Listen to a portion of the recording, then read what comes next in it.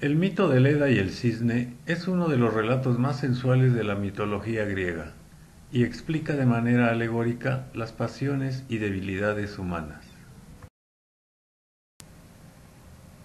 Leda era la esposa de Tindario, rey de Laconia en Esparta, quien se había refugiado en el reino de Testio, padre de Leda, tras ser expulsado de la Cedemonia.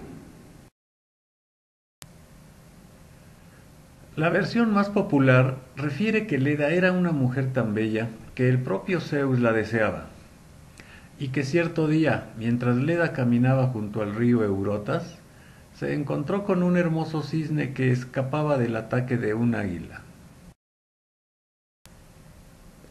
Buscando protección, el cisne, que no era otro que Zeus transformado, se posó en el vientre de Leda, y ante la complacencia de ésta, quien deseaba protegerlo del depredador, procedió a seducirla.